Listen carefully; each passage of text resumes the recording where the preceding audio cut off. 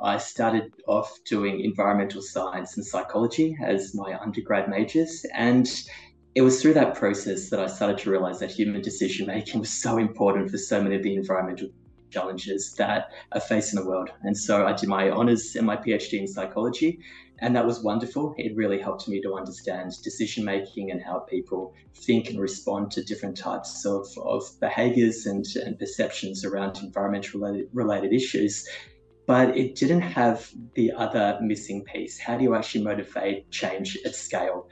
And so, following my PhD, moved across to marketing. And I think that it was that marketing lens which really helped to tie it all together. How do you actually motivate behavior change at scale, but at the same time, drawing upon psychology to understand decision making and perceptions, and also having that environmental focus, which was there from day dot through environmental science. So that sort of broadly speaking um, talks to how I ended up with where I where, with where I currently am.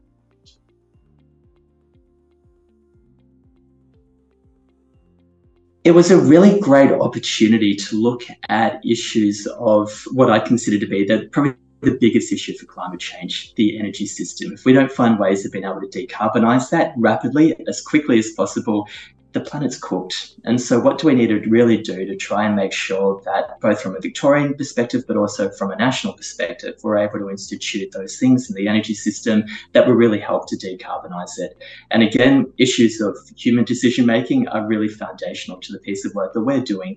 How do we actually look at issues of consumer adoption? How do we find ways of encouraging consumers to make the changes that they need to do to ensure that we can actually start to decarbonise the energy system as quickly as possible?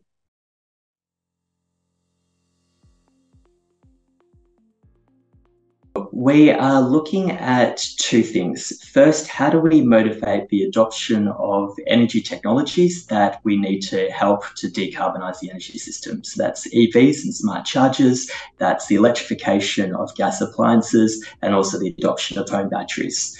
The second element is looking at ways of better integrating those technologies into the grid in ways that aren't going to frustrate or annoy consumers.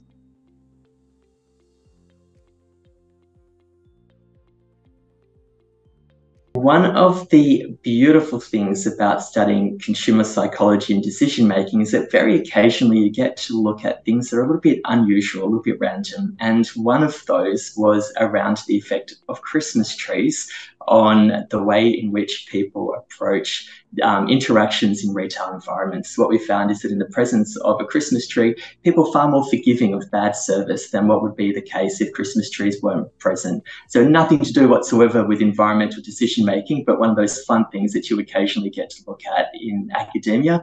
And this was certainly a little bit of a passion project, which was suggested and really fun findings.